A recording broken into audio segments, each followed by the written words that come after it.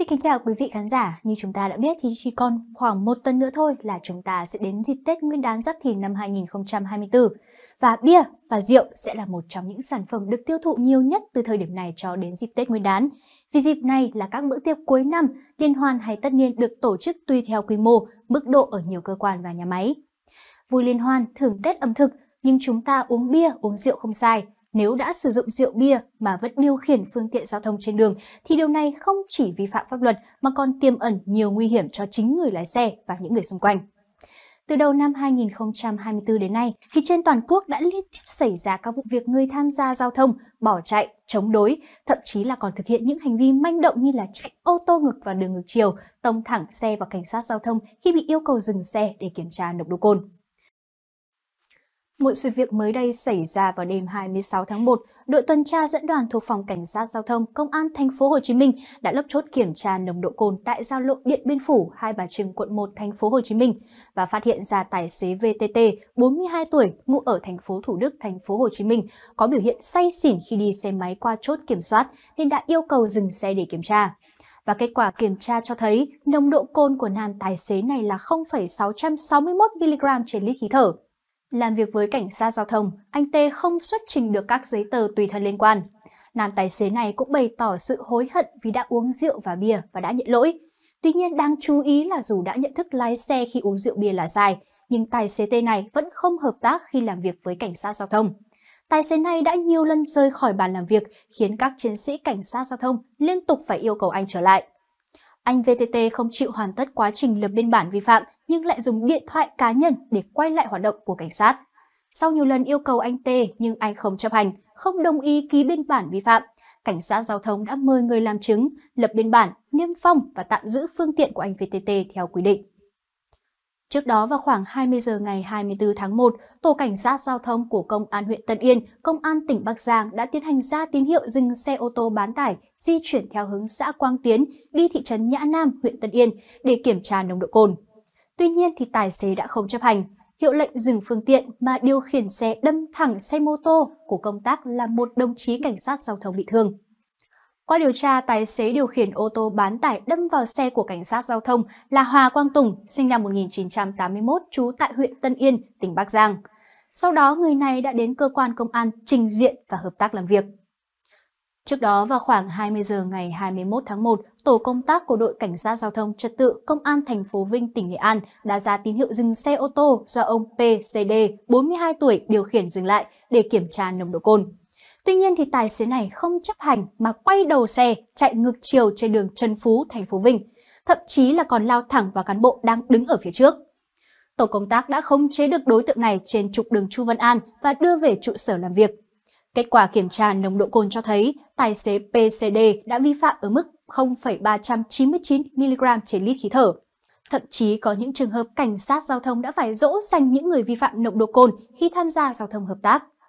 Ngay sau đây, xin mời quý vị cùng chúng tôi theo dõi một đoạn video mà phóng viên của chúng tôi đã ghi nhận được khi theo chân các cán bộ của đội cảnh sát giao thông đường bộ số 2, Công an thành phố Hà Nội thực hiện khi công tác kiểm tra nồng độ cồn tại phố Lạc Long Quân, quận Tây Hồ, thành phố Hà Nội. À, mời bác đấy. Tập trung bác ơi. Bác ơi, làm việc cho nhanh nào. Lỗi là lỗi nặng nhất. Ấy. Mà không cứ soi mấy cái thằng kia cứ chụp. Cho anh đi.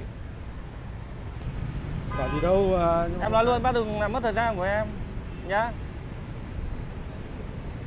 Chấp hành thì còn tạo điều kiện, chứ không chấp hành này làm đừng làm sự việc nó thêm căng thẳng ra. Thôi thổi đều, cứ bác cứ Bác chưa thổi, thổi Bác mạnh. thổi, thổi vào. Bác lấy một hơi dài bác thổi mạnh vào. Thổi. Thổi mạnh với ống ấy, chứ không phải thổi xì xì xì đấy. Để lý giải nguyên nhân gia tăng tình trạng chống đối tấn công bạo lực cảnh sát giao thông khi yêu cầu kiểm tra nồng độ cồn, Đại tá Nguyễn Hữu Luyện, nguyên Phó trưởng phòng tuyên truyền, Cục Cảnh sát Giao thông cho biết, vừa qua Bộ Công an đã chỉ đạo rất quyết liệt để xử lý tình trạng người tham gia giao thông vi phạm nồng độ cồn. Báo cáo của Cục Cảnh sát Giao thông cho thấy, trong 10 ngày này thực hiện cao điểm đảm bảo trật tự an toàn giao thông trong dịp Tết Nguyên đán Giáp Thìn năm 2024, tính từ ngày 11 tháng 1 năm 2024 đến ngày 21 tháng 1 năm 2024 cho thấy, lực lượng Cảnh sát Giao thông toàn quốc đã xử lý hơn 30.400 trường hợp vi phạm nồng độ cồn. Riêng trên tuyến quốc lộ 1A, số ma men đã bị xử lý là 3.173 trường hợp. Đại tá Nguyễn Hữu Luyện cho biết lực lượng cảnh sát giao thông ra quân trên tất cả các tuyến, các địa bàn, đặc biệt là xử lý nồng độ cồn này mạnh mẽ hơn thời gian trước, nên dẫn đến tình trạng số người điều khiển phương tiện sử dụng rượu bia bị áp lực rất lớn, nên dẫn đến tình trạng bỏ trốn, xé biên bản xử phạt, chống đối người thi hành công vụ và thậm chí là lao xe về phía cảnh sát giao thông.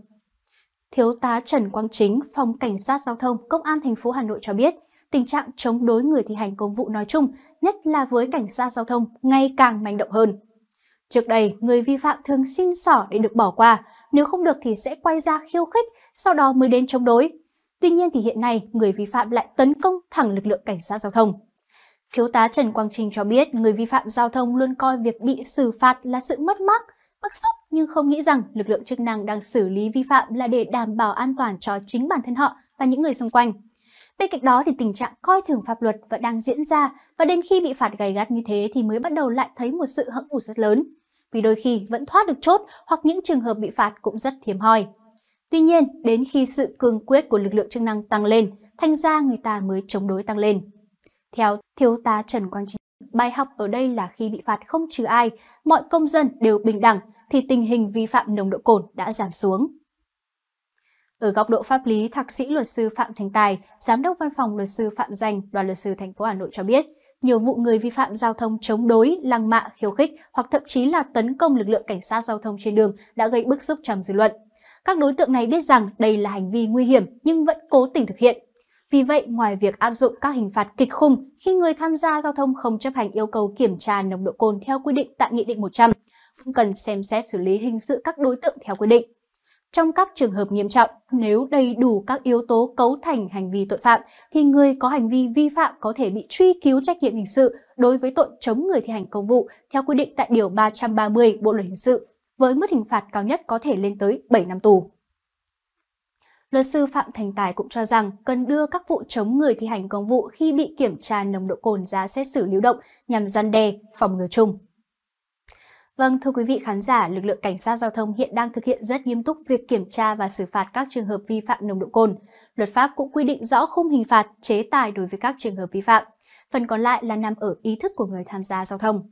Mỗi người chúng ta cần tự giác điều chỉnh, không nên lạm dụng uống nhiều rượu bia và biết uống có điểm dừng, không ép buộc nhau uống nhiều, đặc biệt là tuyệt đối không điều khiển phương tiện khi tham gia giao thông một khi đã uống bia rượu để đảm bảo tính mạng của chính mình và những người xung quanh.